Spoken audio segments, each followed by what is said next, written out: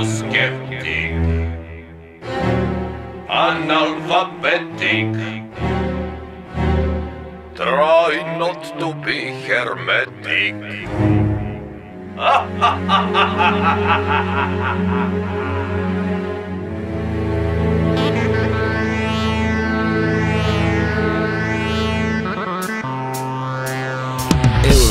don't be skeptic, hermetic, pathetic, analphabetic Forget old cosmetic, you need new poetic, aesthetic, eclectic, dialectic.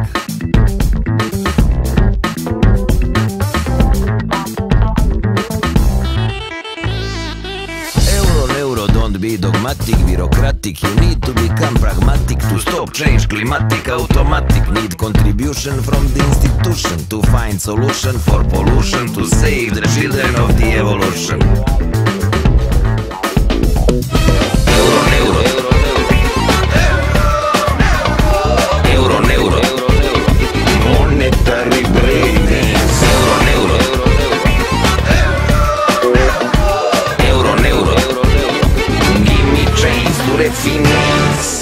I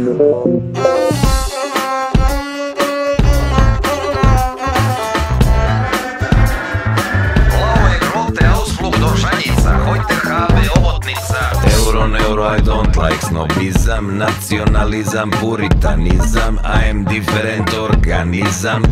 My heroizam is pacifizam, altruizam, I enjoy biciklizam, liberalizam, turizam, nudizam, optimizam, it is good for reumatizam.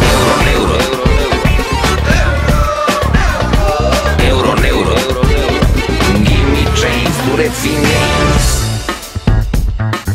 Euro, neuro, I got no ambition for high position in competition with air condition. Different mission, different school, I got only one rule, always stay cool like a swimming pool.